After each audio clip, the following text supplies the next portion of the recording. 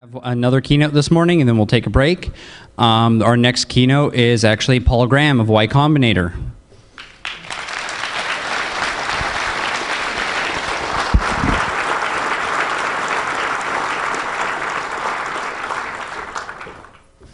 Stage is full of robots. Something's going on here. So, a lot of you guys may be from out of town. Boy, this is a lot bigger than the last PyCon I talked at. Um, last time I talked at PyCon was in 2003. I think it was the second PyCon. Um, and it was about sort of the front half of that bit over there. Um, the true believers, um, the early converts. So, those of you guys from out of town are probably wondering um, what Silicon Valley is like. Silicon Valley is a curious thing. It doesn't have an architectural center. There's no forum that is the center of Silicon Valley. The center of Silicon Valley moves around. Um, it is wherever there is, at this moment, the greatest concentration of the people who are going to make the next generation of stuff. Um, so you're probably you're probably guessing where I'm leading. This is right now the center of Silicon Valley. You are it. Um, so I hope you're not disappointed. Um, this is the center of Silicon Valley right now. Um, in this talk, I'm going to demonstrate a curious phenomenon I've observed in all these years I have been working on Y Combinator and not on programming languages. Um, the frighteningness of very big startup ideas. Very big startup ideas are actually terrifying. And the way I'm going to demonstrate this is by frightening you. Uh, I'm going to give you a list of seven gigantic startup ideas. Any one of them is so big it could make you a billionaire. Um, and at this point, those of you who are thinking maybe of one day starting startups are waiting expectantly. Um, by the way, you don't have to take notes. I wrote this all down. It's going to be on the web as an essay. You can just listen. Um, all the ideas are going to be in there. Uh, but if you're thinking of starting a startup, you're probably thinking to yourselves, all right, here it comes. But you'll see when I say them, you'll find instead of embracing them expectantly, you'll be thinking, maybe I should do that recipes site after all. Um, don't worry, it's not a sign of weakness. In fact, arguably, it is a sign of sanity. Um, the biggest startup ideas are frightening, and not just because they seem like a lot of work. The biggest startup ideas threaten your identity. Um, there's a scene in Being John Malkovich. Anybody know that movie? Yeah, I highly recommend that to hackers. We have a Malkovich room in Y Combinator, believe it or not. There's like this half floor up there that nobody knows about. It's the funniest thing. Um, this, is, this is not like the elevator pass, it really exists. Well, there's a scene in Being John Malkovich where our nerdy hero, um, probably difficult for you guys to identify with, but imagine um, he encounters this very beautiful, attractive woman, and he's like, um, and she says to him, Here's the thing if you ever got me, you wouldn't have a clue what to do with me. Um, and that's what these really big ideas say to you. Um, this phenomenon is one of the most important things you can, you can understand about startups. You'd think really big startup ideas would be attractive, but actually they tend to repel you. Um, and so you need to learn how to tack into that wind, essentially. All right, ready? Okay, so suppose you want to start uh, the next Google. Let's start with the most obvious idea. Um, start the next Google. Uh, the best ideas are right on just the right side of impossible. Um, and it's hard to judge at the point where you have them whether they're on the right side or the wrong side, right? So I'm telling you, a lot of these ideas I'm going to suggest are going to seem, seem kind of impossible. Um, so, making a new search engine to compete with Google, that sounds almost impossible. Um, but there are encouraging signs, um, or discouraging signs if you were a Google user. The point where it became clear to me that Microsoft had really lost their way was when they got into the search business. Um, so, like, that was not a natural move for Microsoft. Why did they do that? They did that because they were afraid of Google, and Google was in the search business. They got to think, we got to get in the search business. Search is the future. Well, you've probably noticed Google has been getting into the social network business lately. Um, So maybe that's a sign of something. Um, now, the mere fact that Google may have peaked um, is not by itself, doesn't, doesn't by itself prove that there's uh, room for a new search engine. However, just lately, like when I'm using Google search, I find I'm kind of nostalgic for the old days when Google was true to its own slightly aspy self um, and was like designed like a Unix utility that would just like give you the right answers fast, right? And now, like, the search results seem like they're based on the Scientologist principle that what's true is what's true for you. Um,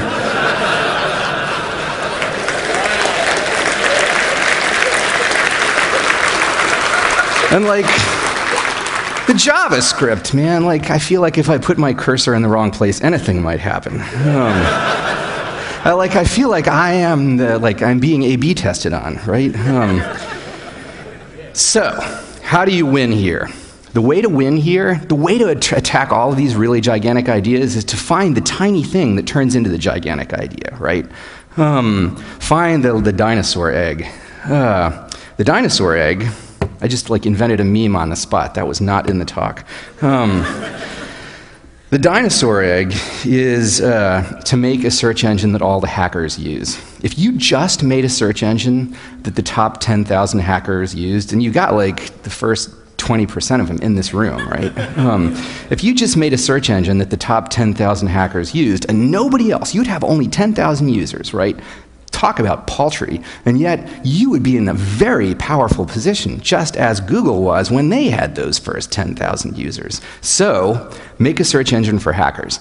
And the good news is, if you are, um, if you are capable of doing this startup idea, you are one of those 10,000 hackers, right? So, the solution is make the search engine you yourself want. This is a case where it's, it's good to be self indulgent. You want to make your search engine, your search queries Turing complete? Go for it, right? You want to make it like really good for code search at the expense of everything else? Fine. Don't worry about doing something initially that will constrain you in the long term, because if you don't win in the short term, there won't be a long term anyway. So call it Haxor search or something like that, and like make the search queries, make the UI really hard to use. It doesn't matter. If you get those first 10,000 people, you're like 5% of the way to an IPO, just like Facebook was when they got all the Harvard undergrads, even though they probably didn't realize it at the time. Um, okay. Number two, um, replace email. By the way, a lot of these ideas, there are people already nibbling at the, round, at the edges of. Any big idea has a bunch of people nibbling at the edges of it. They just don't realize how big the piece of cheese they're nibbling at the edges of are.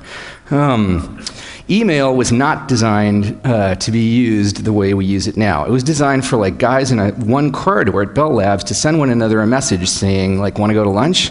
Um, I hear they have, uh, you know, sausages um, in the Bell Labs cafeteria. Um, but email is not a messaging protocol. It's a to-do list, right? Or at least my inbox is a to-do list, and email is the protocol for putting stuff on it. Here's the problem. It is a shitty to do list. Any one of you can put something on my to do list, right? And I don't want that. Um, so I'm open to different, yeah. I'm open to different solutions to this problem, but I suspect tweaking the inbox is not going to be enough. You're going to have to make a new protocol. It can like degrade to the old protocol, but I think you should make a to-do list protocol instead of a messaging protocol. And as a messaging protocol, it ought to give more power to the recipient. I ought to be able to control who can put things in my inbox. When someone can't put something in my inbox, I should just my server should just say sorry, not accepting any more things, right? Not like I send another message back to them using the protocol saying sorry, I'm not I'm away now, right? Like the away message is just like so obviously a sign that something is wrong. Um, or how about like sending emails to yourself? Um, uh, um, okay, so like i want to know more about this thing not just like who it came from and when i want to know like what somebody actually wants me to do um, I want to give people different ability to tell me to do different things. I want them to tell me, like, do they want me to do more than just read some text? Am I supposed to do something in the physical world? When does it have to be done by? When at, at which point can this thing just disappear because it's too late, you know? God knows how many, like, conference invitations I have from, like, 2007 in my, deep buried down in my inbox.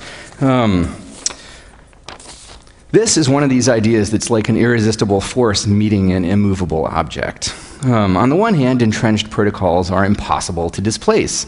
On the other hand, I just do not want to believe that people in the future are going to be living in the same email hell that we do now. Um, so, if it's going to get replaced eventually, why not now, right? I'm ready. Um, if you do this, here's an interesting one. A friend of mine was an early employee at Google. Um, you know, he's rich. That's what that means. Um, like, seriously, when in the valley, if you're not from the valley, like early Google employee is like a um, uh, sort of code word for rich. Um, so I asked him if he like if he could still stand working at Google now that he was rich and he didn't have to. And he said actually it was pretty. He didn't really have any problems um, except he got so much email, right? Um, and this guy is like one of the most powerful people at Google. Like powerful people are in pain because of email, right? Um, and whenever powerful people are in pain, that is an opportunity to make lots of money. So if you build this thing. Some of the most powerful people in the world will be the first to use it. Like, they don't care if it interacts well with other protocols. They'll say, You want to put something on my to do list? You're not sending me email, you got to use this. Um, so you don't have to worry about a chicken and egg problem right there. You have a dinosaur chicken. Um, whatever you build, make it fast. Um, Gmail has gotten painfully slow. Um, by the way, the original version of that sentence was Gmail is painfully slow. I owe my partner Paul Buchheit. Um, uh, for correcting me there. Um, Gmail has become painfully slow. If you just made something like the same as Gmail but a lot faster, you could start to pull users away from Gmail with just that. People will pay for this. I would have no problem paying $50 a month. In fact, when I think about how much time I spend in email, like that's probably one of the things I'm most in denial about. Um, like it would, I would probably be justified paying $1,000 a month for this if, you know, if it would make me better, if it would make my life better. That would be like the, probably the lowest hanging fruit in making my life better. Um, all right, number three, replace universities. Um, now this, this is an idea people are all over lately. Um, boy, it just occurred to me this is an instance thereof, right? Um, Hackerspaces, yeah, um, with Malkovich rooms. Um, I am reluctant to suggest that an institution that's been around for over a millennium is going to disappear just because of some mistakes they have made in the last couple decades. But certainly in the last couple decades, universities seem to be heading down the wrong path. You know, They've, they're like not fun for the students or the professors. They've turned into like expensive country clubs um, where you don't learn a lot. Um, you study abroad. Um, I don't think universities will disappear. I, think they'll, I don't think they'll be replaced wholesale. They'll be replaced by a whole bunch of little things that sort of serve a la carte what those monolithic four years, what those monolithic four years did. Many of them will look different from what universities look like. People won't realize they're being replaced. Like people will learn stuff, right? Um, and that, that's how they will be replaced. Arguably, Y Combinator is one of one instance of this. This is this is an instance of it. Um, learning is such a big problem that if you change the way people do it, it will also have a wave of secondary effects. For example, universities are now, for better or worse, sort of a credential, like where you went to college. People ask you that fairly early on in conversations. Um, if universities go away, like maybe credentialing has to be supplied separately. Um, you could replace high schools. That would probably be even better. Um, but with high schools, uh, you face all kinds of bureaucratic obstacles, and you don't want to do things in a startup. You don't want to deal with stuff that's going to slow you down. So don't go for high schools first. Go for universities. Um, okay, number four. Uh, kill Hollywood. Um, I'll give a few more. Here's a few more details about what that would involve. Because, uh, by the way, that whole kill Hollywood thing, that was Paul Buchheit's idea. That was not my idea. Really, you guys should give him credit for that. Um, and if there's any hitmen from the RIAA, like, definitely Paul Buchheit gets credit for that one. Um, I just wrote the RFS. In fact, PB was kind of amused because we were like having lunch one, one afternoon, um, and he said, "You know, we should like have an RFS for like people to replace the um, the big studios. And I said, all right. And so I wrote this RFS. And he's like, the next day, he's like, Jesus Christ, that was just an idea yesterday, and now it's a meme. Um, so, Hollywood. Hollywood's big mistake, well, one of many, um, was to be slow to embrace the internet. And that was a big mistake because I think, just uh, you know, you can call a winner early sometimes in elections. I think we can now call a winner in the delivery mechanism for entertainment, and it is the internet, not cable. Um, a lot of the reason is the horribleness of cable clients, uh, what are popularly known as televisions. Um, I did not wait for Apple TV.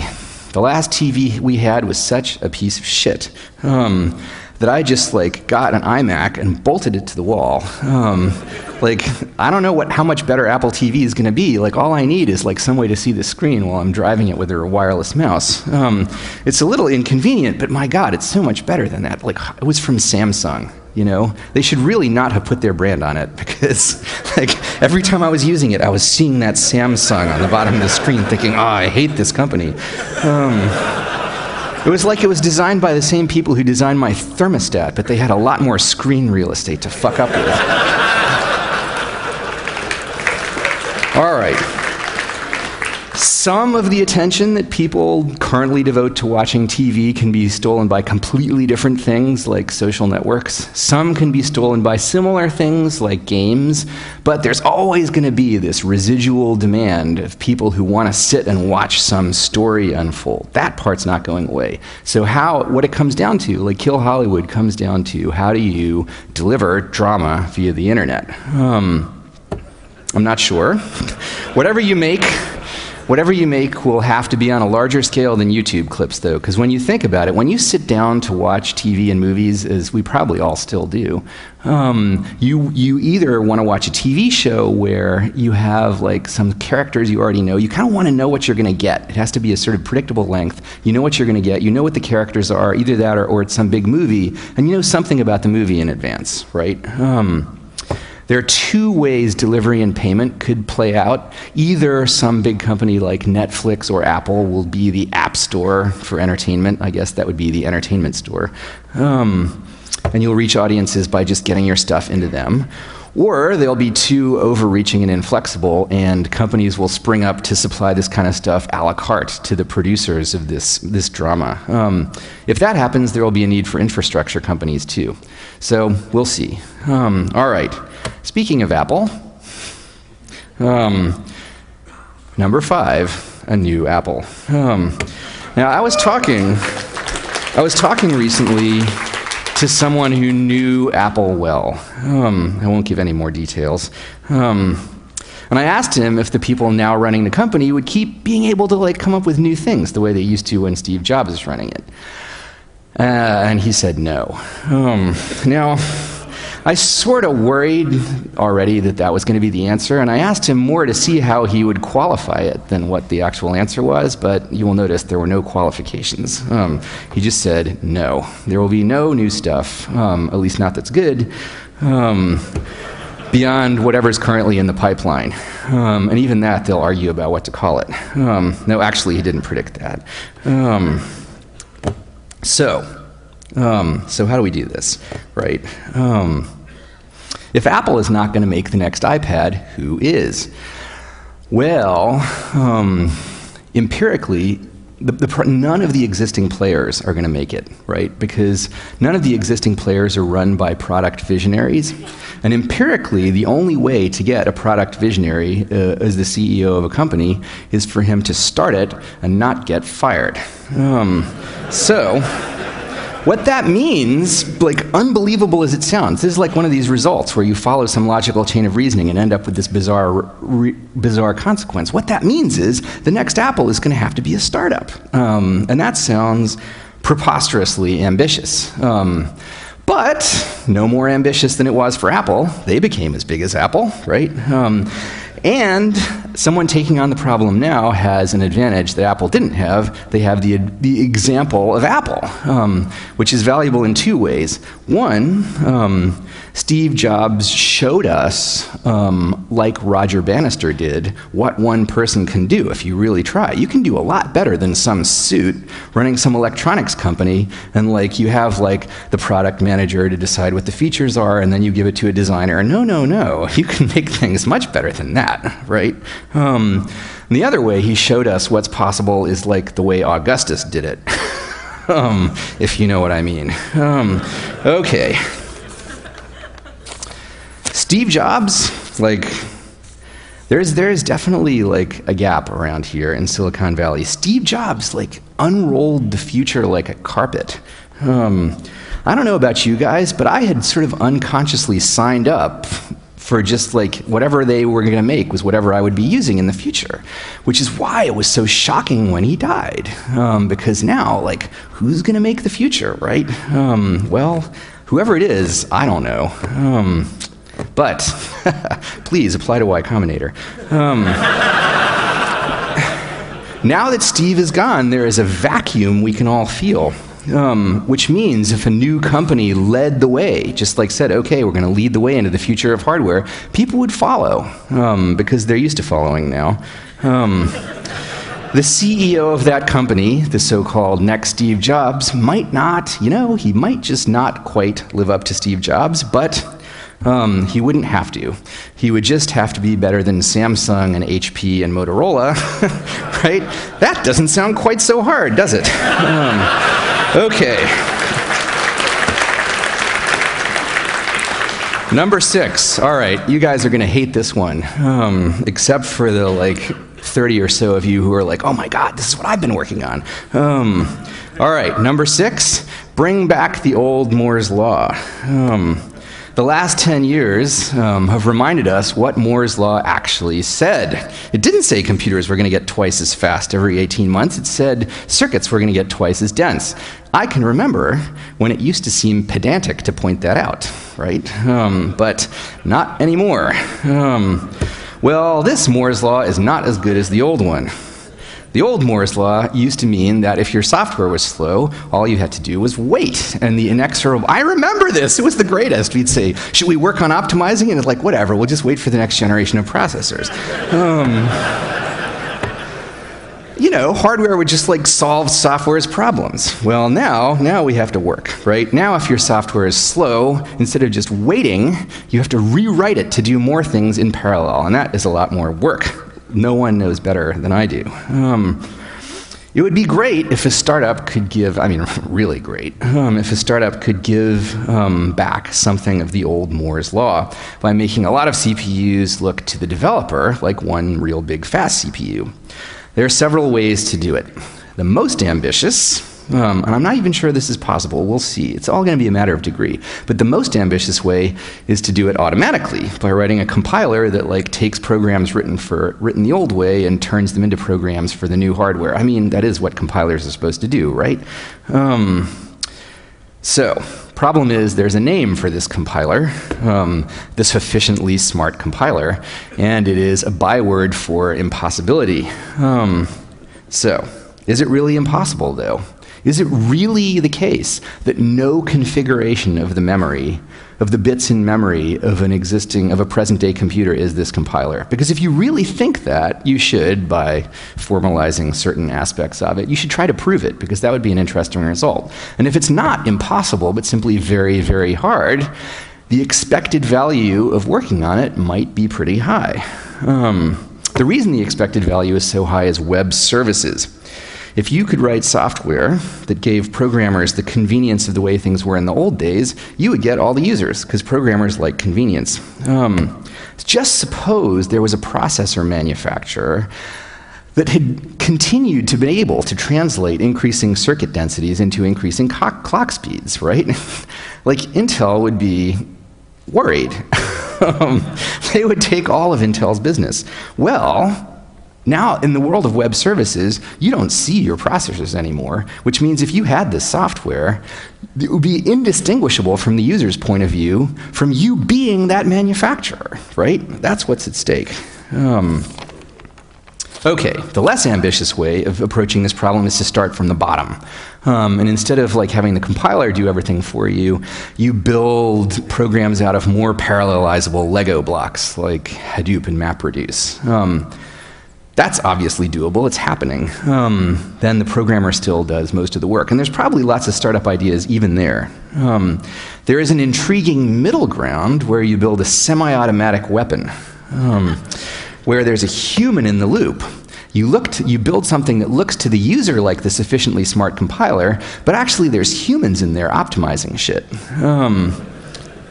These people might be your employees, but it might be even more exciting if you created a marketplace for optimization. Now, of course, suppose there was a marketplace for optimization. You guys are probably already, some of you guys are probably already thinking about what I'm going to suggest, suggest next. People would start to write bots right, to do the optimization. And if you ever got to the point where it could all be done by bots, you would be in the very curious situation of actually having created the sufficiently smart compiler, but no one would have a copy of it, right? Um, that would be pretty interesting. I mean, that would be worth doing just because it would be so interesting. Um, all right, so I realize, believe me, I realize how crazy all this sounds. Um, there was d- division among the Y Combinator partners whether I should even mention this one. Robert Morris thought I would sound like an idiot if I even brought it up. Paul Buchheit and Aaron Iba said, eh, what the hell, you know, maybe it'll work. Um, but what I like about this idea is all the different ways in which it's wrong. The whole idea of focusing on optimization is counter to the general trend in software development for decades, right? Trying to write the sufficiently smart compiler is by definition a mistake, and even if it weren't, compilers are supposed to be the sort of software that's written by open source projects, not startups, right? So, the, the forum troll, which I have by now internalized, um, doesn't even know where to begin in raising objections to this idea. Um, but I'm sure I'll find out this afternoon on Hacker News. Uh, that is what I call a startup idea. Um, but wait. There's one that will face even greater resistance. This is my, the last one on the list, number seven ongoing diagnosis. Um, one of my many tricks for generating startup ideas is to imagine the ways we will seem backwards to people in the future. Um, and I am pretty sure that 50 or 100 years from now, it will seem barbaric to people that we had to wait um, until we had symptoms to be diagnosed with things like heart disease and cancer. For example, in 2004, Bill Clinton found he was feeling short of breath um, and went to his doctors, and they said, Your arteries are over 90% blocked. Um, and three days later, he had a quadruple bypass. Now, it seems reasonable to assume that Bill Clinton has access to the best medical care available, and even he had to wait until his arteries were 90% blocked to learn that the number was 90%, right? Um, that can't be that hard to figure out with some kind of non destructive testing. I mean, maybe version 1 could do destructive testing. I don't know. Um, you know, version 1, maybe I shouldn't be funding software startups doing medical devices. Um, just get something out quickly. Uh, launch fast and iterate. Um, you could do heart disease for pigs first. Um, and you could like run a sausage company on the side to monetize it this is this is not in the talk.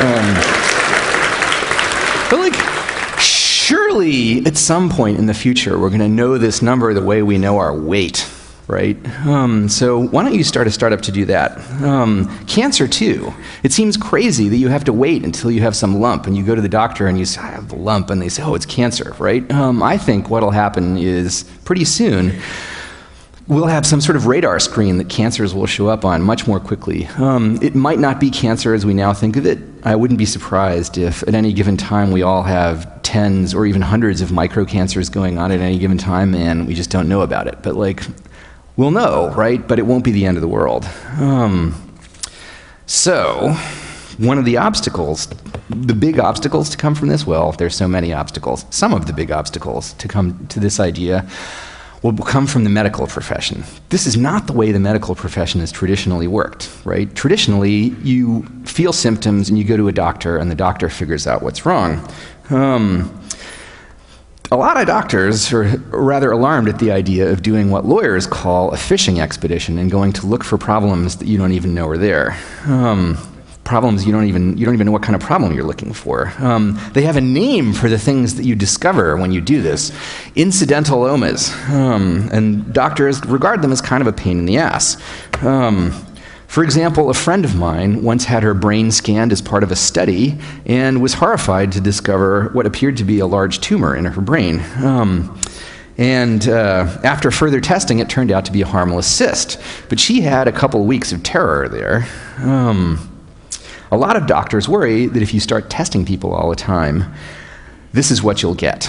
Um, a lot of terrifying. Uh, a lot of terrifying false alarms that make patients panic and require expensive and possibly dangerous tests to resolve. But I think that that is just an artifact of current limitations. I think the way it's going to play out is if pe- people are scanned all the time and they will know about these things early and they will realize, oh, that thing in my brain is just like a birthmark. It's always been there. Um, there's room for a lot of startups here.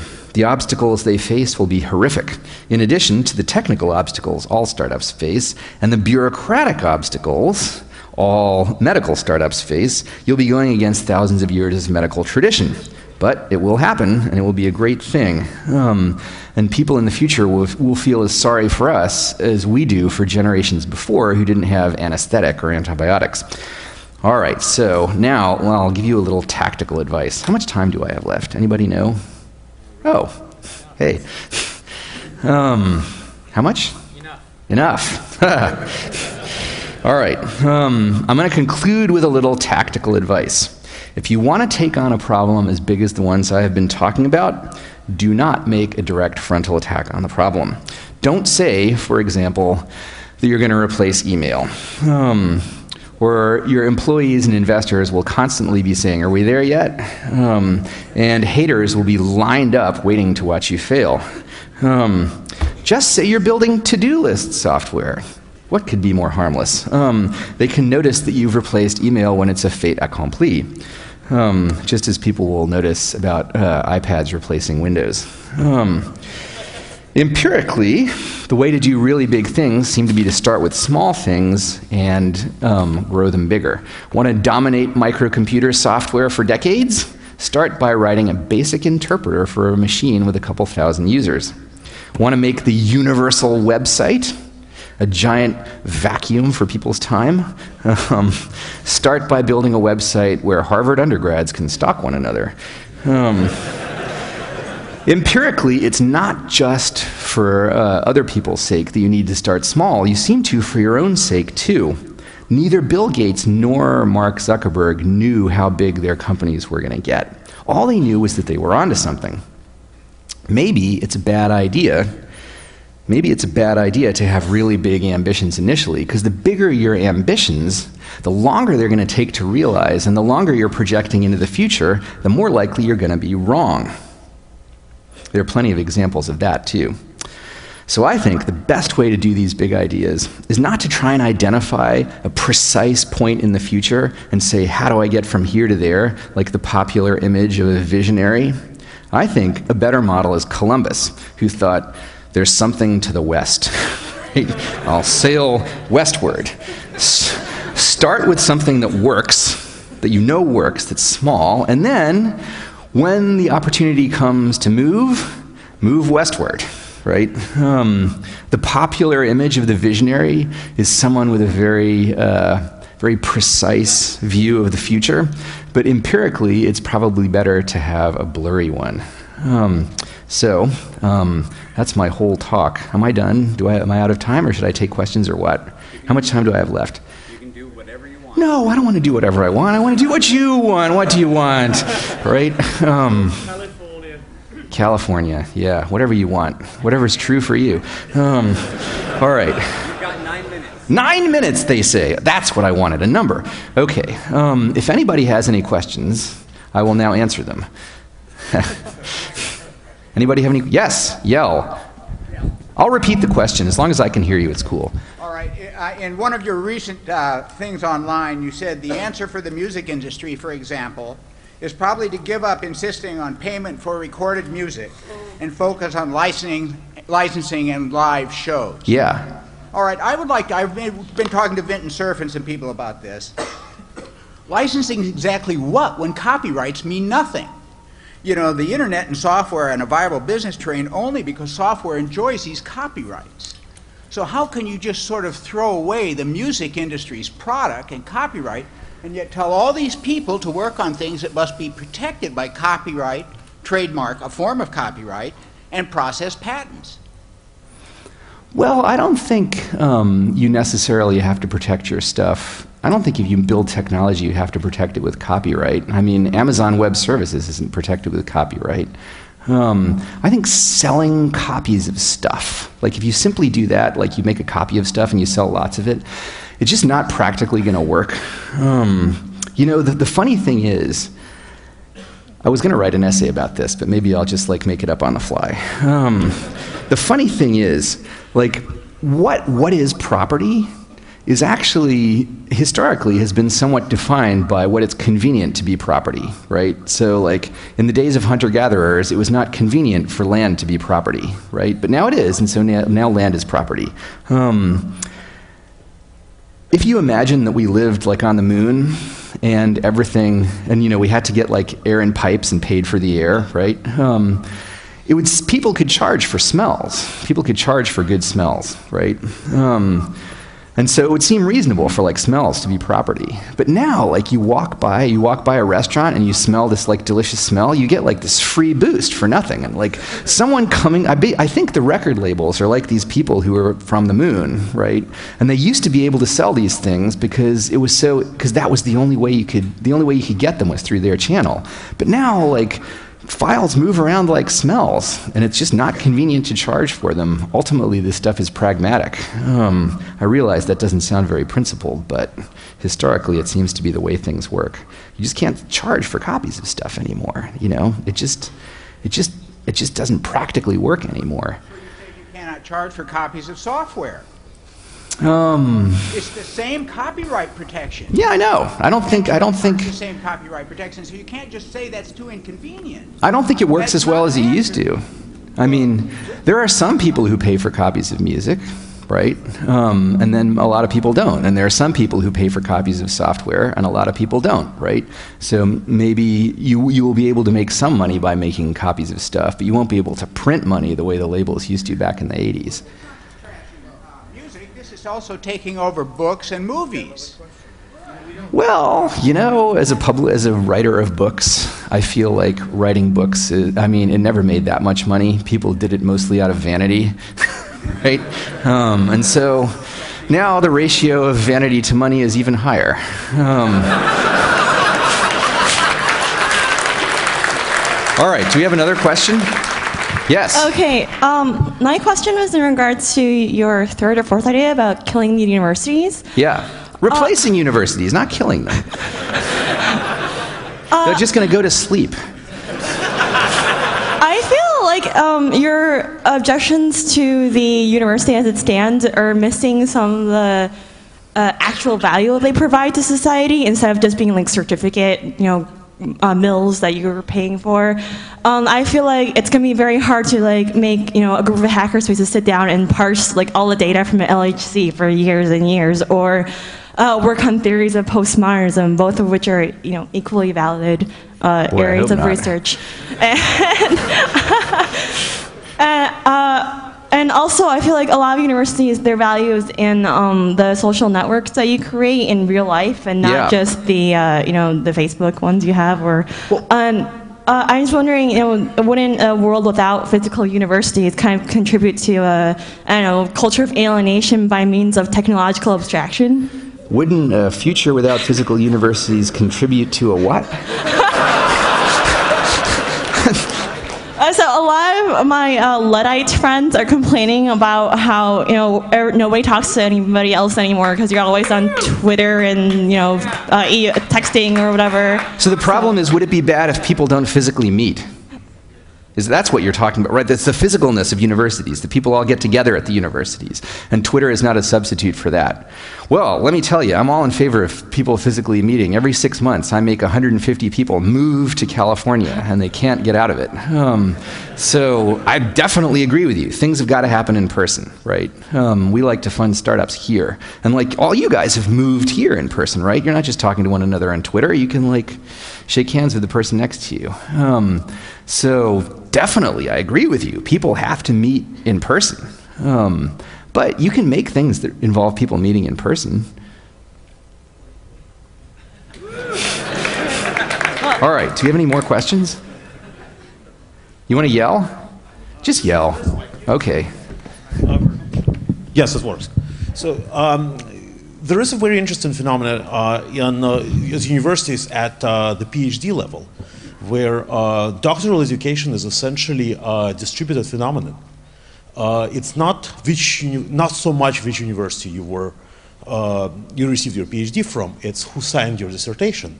The three or four people that were on your PhD committee. Yeah. So uh, a very disruptive idea may in fact be, and uh, I guess I'm also giving a free idea to everybody in this room. Um, is it possible to make uh, baccalaureate, so lower level of uh, low, lower levels of uh, university education, is it possible to make that a distributed phenomenon as well, where your credentials are from your advisor, from your lab, from your research projects? Yeah, that's an interesting idea. Um, that's an interesting idea. The idea is instead of getting a degree from a, an institution, you would get it from a person. Um, which is actually, if you know about the history of universities, that's how it originally used to work. Exactly, I mean, universities had a guild system, and you would be certified as a teacher by an existing teacher, just like you could be certified as a woodworker by an existing woodworker. Um, so, since it was the way they used to work, maybe universities or their replacements will be uh, returning to their roots. I'm not saying like get rid of universities, just like eat away at that big lump of cheese. Any more questions? Yes, shout and I'll repeat it. So I I know you were joking earlier, and I, I read your work and I'm inspired by a lot of your essays, but what, you're in a position to fund some things that very well might change the entire world. Yeah. You're talking about medical devices and things like EEG reading and the ability to manipulate uh, very complicated device off of a, very complicated devices off a series of, uh, of uh, I mean, the, the technology is still in its infancy. My concern is, what are your principles on funding something that very very well may significantly affect like our, our, our genetic code, our, our you know, Wow. Um, okay, so the question was what are my principles on funding something that could affect our genetic code? Um, so that's definitely a fundamental question. Um, honestly, I hadn't thought about it. I try like try and fund founders who seem like they're going to succeed, and if the idea seems overtly evil, then we don't do it. Um, but like affecting our genetic code, I mean, probably already affecting our genetic code because we make all these people move here and they end up like getting girlfriends and procreating. Um, so, a very small number of them. Um, I don't know. I don't know. I surprise we're, we don't have like we never really thought about that before. I mean, we, we haven't funded a lot of people doing medical type stuff. Um, we would, just we don't get many applications to do that kind of thing. So I don't know. We're just trying to play it, play it by ear. Um, but, ha, we have Paul Buchheit.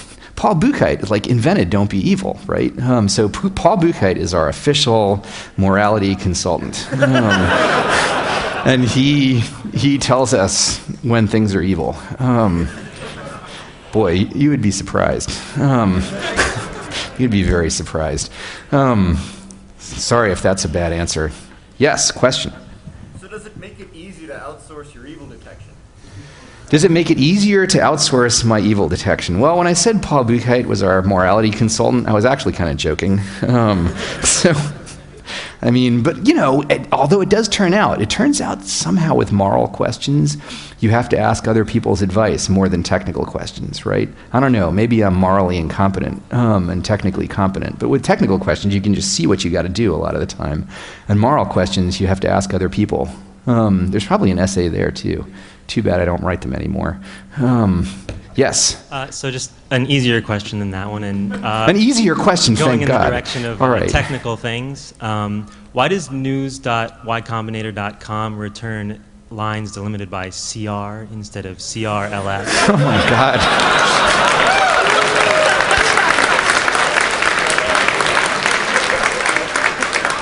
Because like I wanted to write an HTTP server and I didn't read the spec. I just like did stuff until my browser could get pages back, right? Um, so it's all some early version of Firefox's fault, essentially. Um, when I could see pages on my browser, I'm like, well, it seems to work. Um, so, see, I mean, I, this may actually get fixed. We hired somebody to work on making Hacker News faster. You'll be happy to hear. Um, and they, they'll probably fix that in the process. There's some line somewhere where I should like add a line feed or a carriage return that's not there or something, but like it's never been on my top 100 things to do to go and look in the source and fix that because it like works on my browser, right? Sorry. ah, thanks a lot. Well, it won't be the first. All right. Yes. So you talked about um, the next Apple, and, um, and, and one of the things we've been seeing is Apple ha- have been um, winning in uh, partly in the, the, the, price war for um, the delivery of, of, hardware, particularly their their tablet screens, because they have such buying power and they can they can buy up the manufacturing capacity. Yeah, and, and particularly for, for small startups looking to to make hardware, to make innovative and groundbreaking hardware. Yeah. Manufacturing has to be a, a, a really difficult problem to, to solve. How, so, how are you going to compete Apple when they have such scale? Is that what you're saying? How are you going to right, compete and, against Apple? Apple? And how do you think is there, there an opportunity for this sort of monolithic okay. when I say compete, process? When I say compete against Apple, I mean I'm not saying the startup's first product should be like a competitor to the iPad. Um, you should probably not even the startup should probably not even do consumer stuff initially. They should do something that's like something for hackers, you know, like the Arduino if those guys had startup ambitions, right? They make this thing that like wouldn't even seem like a threat to Apple, right? Um, and it's just something, it's for hackers. They, they solder this stuff together themselves and ship them out, and when they get the money back, they buy more parts. So you don't think a startup can make um, consumer devices? Uh, it depends on what the device is. If it was cheap enough, maybe you could maybe you could make some kind of like headset thingy, you know, Jawbone as a startup. Right? Do you think there's an opportunity to, um, to to interface to the the sort of the monolithic manufacturing processes and, and make it? I mean, we've seen some of the like 3D printers, some of the Kickstarters, the way they're making. There is prototypes. in fact there is a startup in the current YC batch doing this. There's a startup in the current YC batch that's like the print button for your circuit designs. Um, like you just hit print and like stuff arrives from China. Finally, this the stuff printer. Um, so yes, there is an opportunity there. No. I think they haven't launched yet, so I can't say what they're called. No time for further questions, I understand. Oh, we're done? I just wanted on a point of information to let you know that you were the first keynote speaker at the very first PyCon. Oh, was I? In 2003. Wow. Uh, thank you for doing that. Thank you for coming back. This one was way more interesting.